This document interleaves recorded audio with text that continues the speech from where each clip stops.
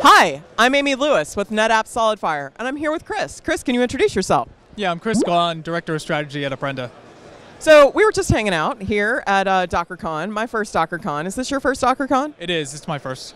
So uh, what what's the top thing on your mind here? What are you learning? What are you thinking about? What's the container space mean to you?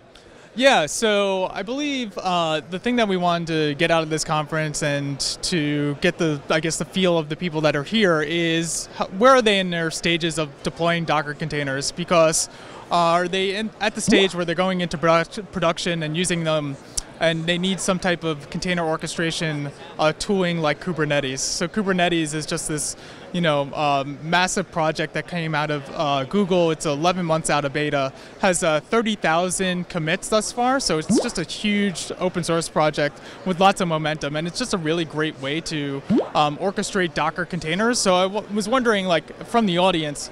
Uh, how many of them are using Kubernetes, and a surprising number of them are currently actually in production with Kubernetes. And you know, how what are they going to do going forward?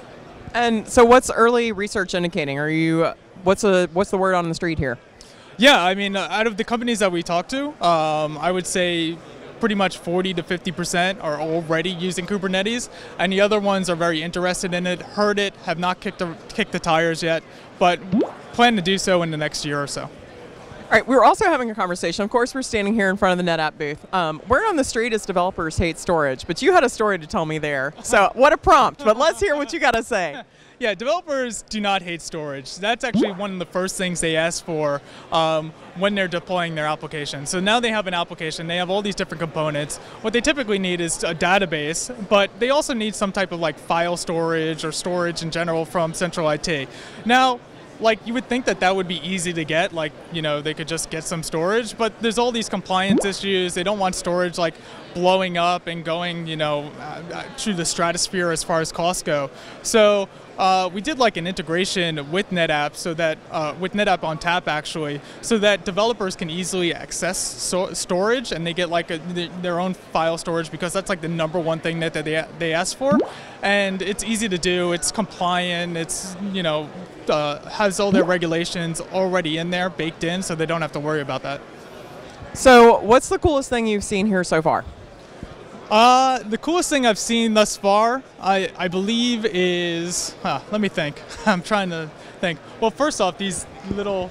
Oh, yeah, we got to do this. Check this out when they actually work, these are the coolest things. So uh, this is a company that I guess Docker is using to do like uh, the event app and then all the scanning of badges, and it's almost like a, replacement for LinkedIn because you have everybody's information. So that's really cool. I mean, just the the number of uh, companies that are here and what they're doing, from Intel to IBM to uh, Microsoft, and all the stuff that they're doing on the .NET side with uh, with uh, Docker, is just amazing. Very cool. Well, thank you, Chris. Thank you. And we'll see you next time on Pop Up Tech Talks.